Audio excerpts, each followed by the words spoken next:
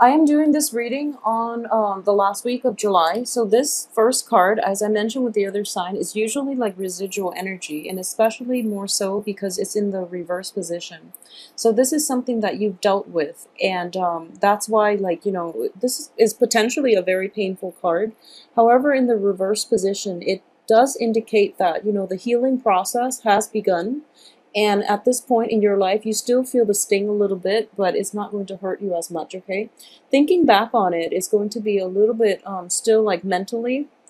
It's, it's still hard to overcome it, but in your heart, you know that this is a situation that you cannot go back to. And because of it, you have found closure within yourself in the way you handle the situation or in the things that transpired. So for this month, um, I do sense that this is something that happened, you know, in July, June, July. So it's not going to be problematic moving forward. Um, you do have a lot of air signs in your life for a lot of you. Um, so air signs are Gemini, Aquarius, and Libra. And for some reason, I've been seeing it for a few months now. And you're dealing with somebody who's got their guard up and who's just, um, you know, first of all, it's fire and air. It's a very combustible type of energy. You know, without um, without air, fire can't really expand. And um, so it's sort of like the other the other party feels as if they're doing a lot of the work to maintain the relationship whereas you feel that you're doing a lot of the work. So it's basically arguing over imbalances within relationships. And at the same time, there are definitely value system or um, issues regarding family planning, issues regarding like um, there's a very strong element of family how to how to plan for a family how to like um, rear a child differences in like um, customs in the in in the generational gap in the way people approach motherhood, fatherhood, parenting in general. So there's that element coming into play coupled with the fertility card in the reverse position. So I do feel that there is definitely a cultural difference or even a values difference regarding what is um you know like what is the right gender role, how to be a good mother, how to be a good father, what is expected of, you know, specific gender roles. So this is a very family oriented type of spread. And at the heart of it, we have like a the silver lining here in which, you know, both sides love one another tremendously okay so whoever it is that you're dealing with rest assured that you know there's a lot of love coming from you there's a lot of from you to them there's a lot of love coming from them to you but being able to see eye to eye with one another that's the hard part and that's something that is going to require major shifts and major compromises from one party or the other. So something is coming in here regarding child rearing, regarding like family practices, family planning, even or lack thereof. Um, there might be like unexpected pregnancies for a lot of you, or um, somebody in your family might be a little bit too young and they're trying to, um, they're not able to raise a child on their own. So everyone is like chipping in and talking about, you know, maybe she or telling um, you know, giving their opinion about what this person should do with their body. And, you know, they're doing it from a place of love. But I do feel that it's none of their business. And ultimately, it should be left up to, you know, this person and his or her partner to decide what it is they want to do with that um, situation. Okay. So, aside from that, I do feel that um, this is an ongoing debate. It happened in the past and um, you've agreed to disagree, or at least you've come to a compromise. But then for this month is coming back in, is rearing its head again, and a big discussion needs to be had. So what I'm sensing here is don't be alarmed by the tower because I do feel that you're going to be in a good place. So this is um, more than anything because of the sword energy, is uh, which indicates communication, ideas, and even you know it's a king energy, so it does indicate compromises, compromises in in um, in a belief that you hold true and or somebody is compromising somebody is starting to come along and i do feel that someone is making a great compromise a great sacrifice in order to appease you. Because i do see the king and the queen energy here is you know somebody who is holding their ground. They're not budging and at this point they're kind of like laying down the law or they're at least stating up front what it is that, you know, they want. So the King of Wands and the Queen of Wands are representative of you. Okay, so you're kind of like um, sitting back and you have already established your boundaries with other people. You have already told them what it is that you need and want out of this interpersonal relationship. And especially like um, for those of you who are negotiation negotiating salary increases, for example, you are stating once and for all, I've done a lot for this company.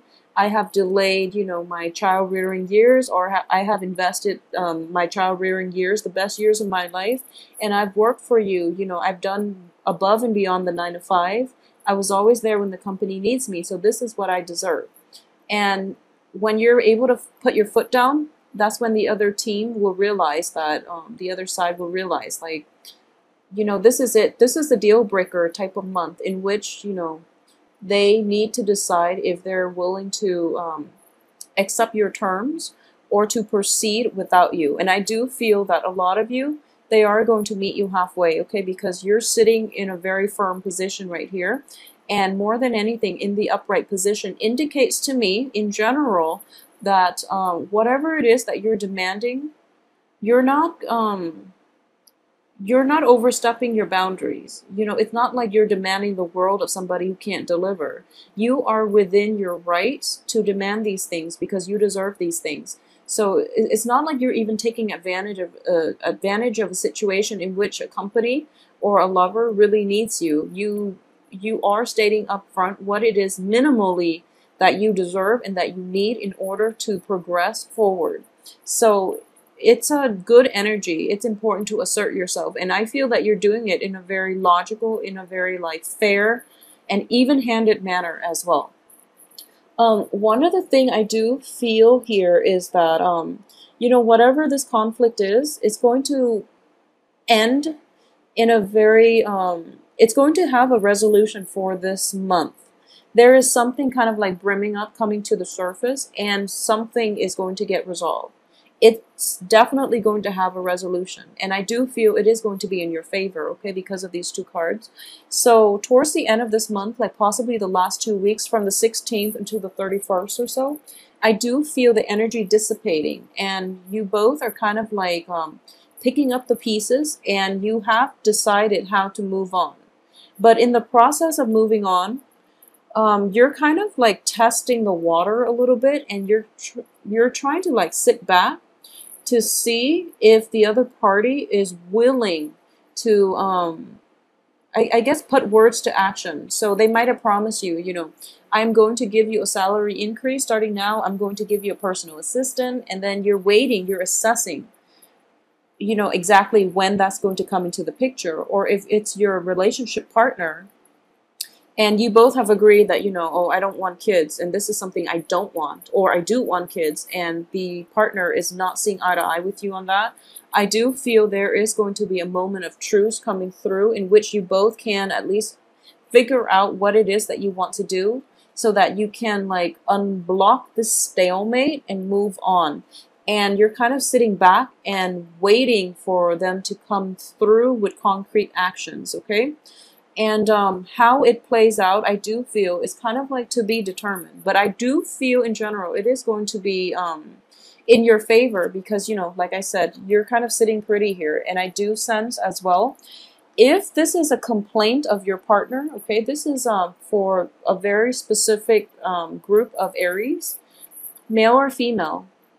If your partner has been complaining about, you know, lack of um, lack of contribution from your end and whoever whatever sign your partner might be. If there is a partner in your midst that has constantly complained about lack of contribution from your end and um, i pulled out these cards to qualify what the tower refers to i do feel that um, a, a new sense of kind of like putting yourself in the other's shoes is going to be in order here okay? Because um, I do feel that if your partner is complaining about this, and you can always think back and see if there's any validity to what they're saying, if they're they're they're telling you that like you know i do put in a lot of the legwork in this relationship.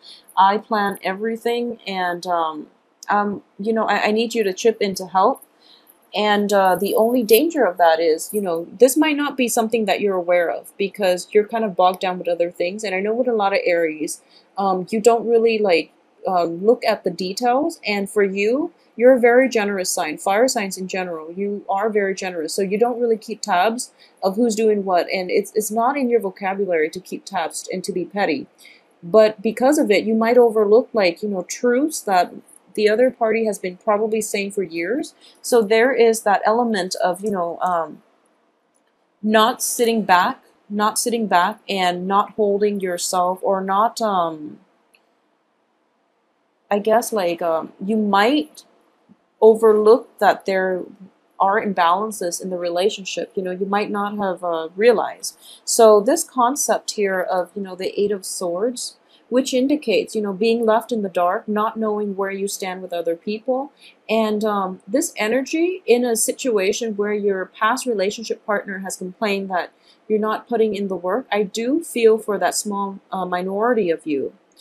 This is something that is like coming out of the left field and you have to really take some time to mold it over and you know rehash the past and see how if there's any validity to what they're saying. And i do feel that is going to be something that allows you to navigate this situation okay? Because um these two cards relate to what the tower refers to. So it's something that you're not aware of. Something coming into the picture that you're not aware of that could be problematic but once made aware of it you are going to be able to change the way you approach this situation, you approach this partner.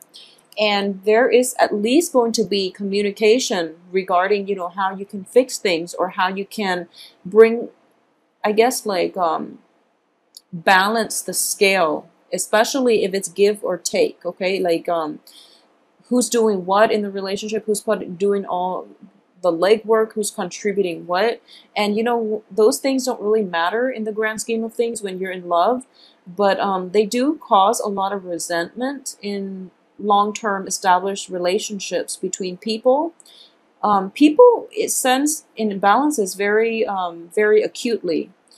And um, there's always like, you know, overt or covert ways to rectify these imbalances, and people don't always operate at their best when they try to correct them. So it's it's important to just have a discussion, but you know, having that channel of communication open is going to be vital more than anything.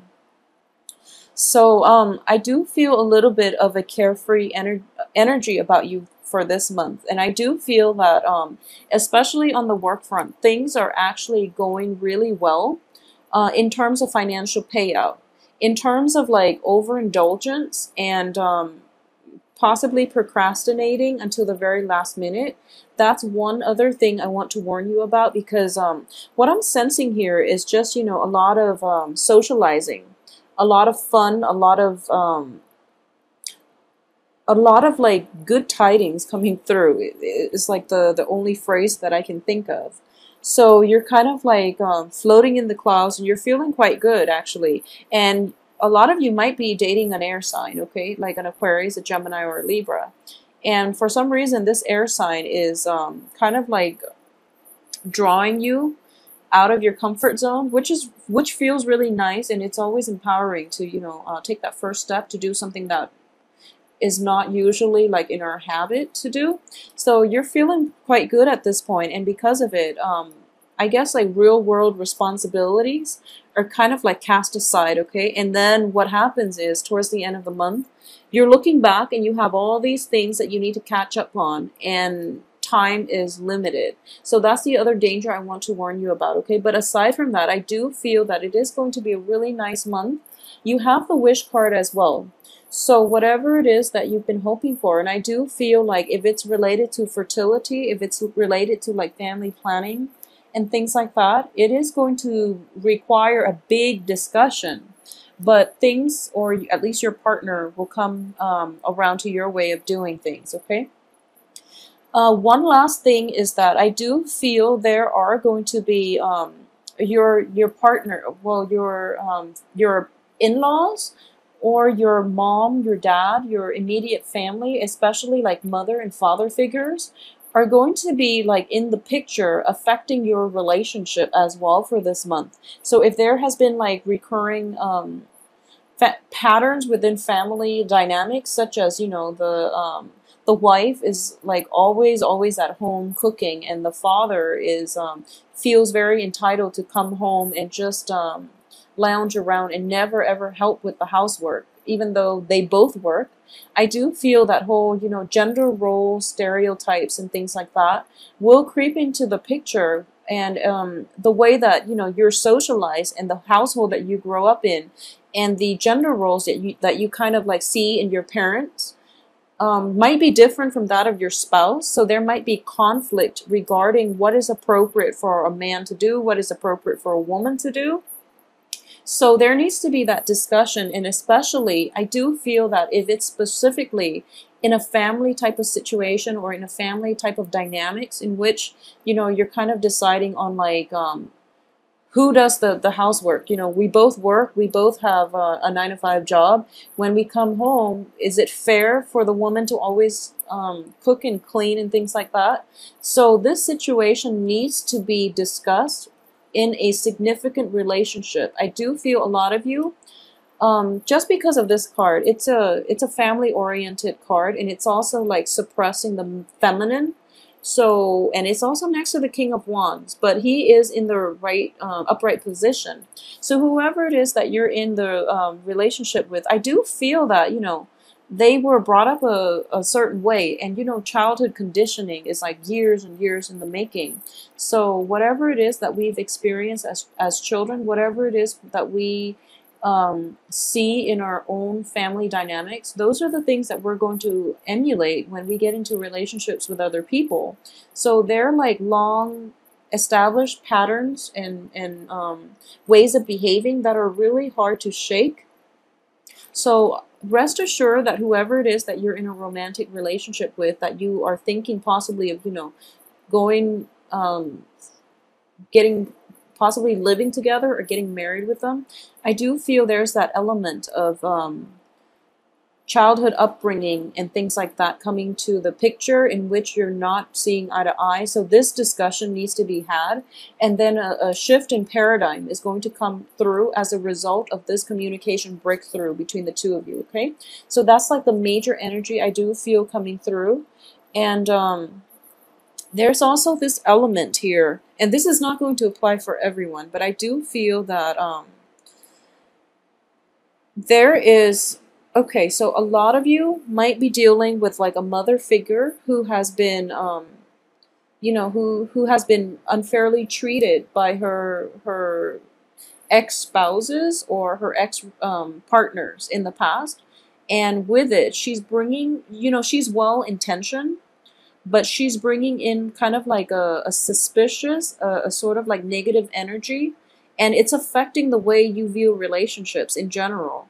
So a lot of you might be dealing with like a mother figure who has been very jaded with life, and she's trying her best to protect you the only way she knows how, and that is, you know, mothers are always telling their sons and daughters to be careful and um, you know especially with someone who's been through a lot in her life specifically. And um, she will tell you to be to be like suspicious. And you know there's no basis for that because um, she doesn't understand that you are dealing with a different set of people. And her life experience is you know specific only to her. So it's it's just different. It, it might be inappropriate for her to um, to bring all these suspicions into your relationships. So there's that element of like family members meddling in a very good relationship that has a lot of stability. And because of it, people are just like um, kind of um, kind of like um, just people meddling in your relationship, especially like family members. So it's a little bit troublesome. But um, I do feel, you know, in all relationships, communication is going to be um, required in order for any success and any in order for people to be like in successful and stable and healthy relationships. So that needs to be addressed. Anything that comes up for this month needs to be addressed and it needs to be done in a way that will um, allow both parties to compromise okay